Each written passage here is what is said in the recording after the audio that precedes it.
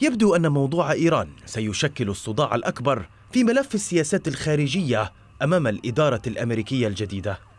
صحيفة بوليتيكو الأمريكية سلطت الضوء على العقبات الداخلية التي قد تواجه الرئيس جو بايدن في ظل رغبته بتخفيف العقوبات على طهران أو العودة إلى الاتفاق النووي.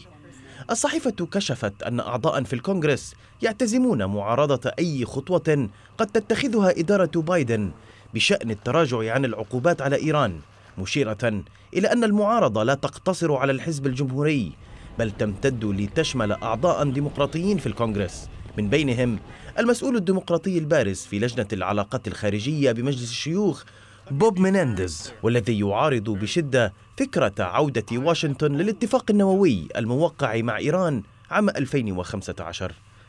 أحد أعضاء مجلس الشيوخ كشف للصحيفة أن أعضاء المجلس سيقفون بالمرصاد فيما يتعلق بالسياسة المتبعة تجاه إيران بل وسيراقبون تنفيذ الإدارة للعقوبات المفروضة أخيرا على طهران. وسط تصاعد المعارضة في الكونغرس لأي خطوة قد يتم اتخاذها للانفتاح على إيران كشفت الصحيفة كذلك عن تباين واضح في إدارة بايدن نفسها بين من يرى أن معالجة الملف النووي الإيراني أولوية مبكرة ومن يرفض وضع إطار زمني للعودة إلى الاتفاق. وبحسب الصحيفة ترى أوساط أمريكية أن العقوبات التي فرضتها الإدارة السابقة سمحت بالضغط على طهران بشكل كبير وتعديل ممارساتها خارج الحدود.